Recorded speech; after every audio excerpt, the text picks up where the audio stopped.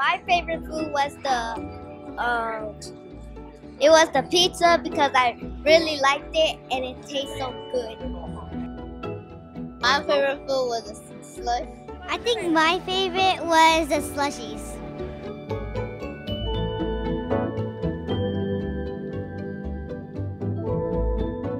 We started this event back in 1988, three years after I came to Fort Bend.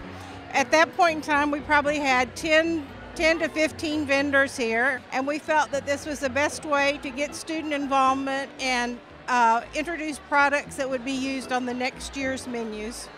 Well, we love giving back to schools and the communities that we serve, and we love to come out and, and be in the in the schools and meet the kids, meet the parents, meet the families. And so we just want to show everybody the high quality items that we like to put in the different menus and school lines each and every day across the state.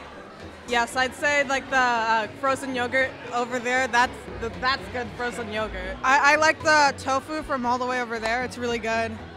We wanted to come in and, and show products like our tangerine tofu, as well as our, our new beef items, uh, because students are seeing those in, in different restaurants and they're coming back to the schools and they're demanding the same type of quality and the same type of food. One, it's free food, so you don't have to pay for it. Two, it's good, and, and, and it's cadence uh, There's healthy food that you can use to give to your school.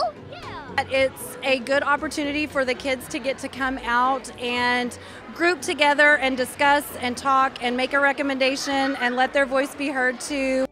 We just want folks to come to these kinds of events so they, they can understand that there's there's more to child nutrition than just a you know the, the meal that we serve. And the meals that we serve are a lot more tasty than, than folks think they are.